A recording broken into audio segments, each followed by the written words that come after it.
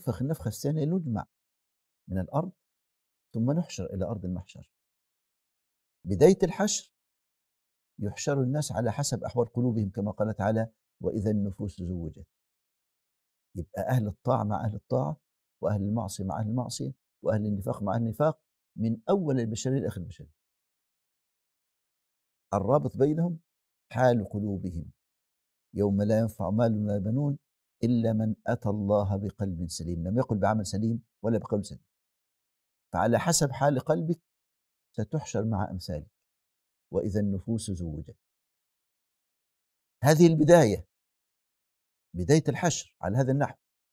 ثم يأذن الله بأن تدنو الشمس بعد أن تبدلت وصارت شمس جديدة خالص شديدة السواد شديدة الحر. حرها أضعاف أضعاف شمسنا اليوم فتدنو من رؤوس الخلائق. فيتصبب الناس عرقا كما جاء في الحديث. تدنو الشمس من رؤوس حتى تكون فوق رؤوس العباد بميل. يقول الإمام قرطبي رحمه الله تعالى والميل عند العرب له استعمالان الميل المكاني 1600 متر والميل مرد المكحلة الذي يستخدم في استخراج الكحل من ده يعني 4 سم يقول الإمام القرطبي جمعا بين المعنيين فأبعد الناس من الشمس آنذاك بينهم وبينها 1600 متر. وأدناهم منها 4 سم والناس بين هذين. الشمس تدنو منا فيتصبب الناس عرقا ولسنا بأجسامنا هذه.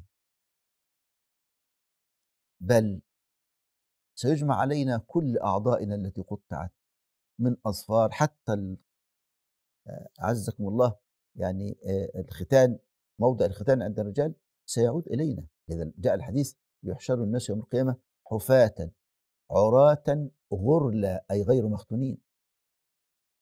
فأعضاؤنا ستعود إلينا.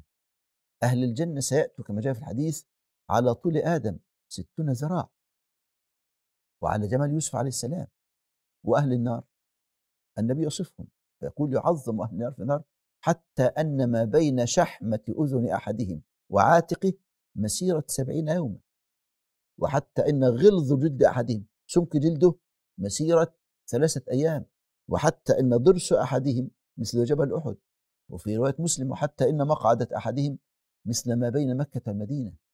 يعني عرض مقعدته 500 كيلو.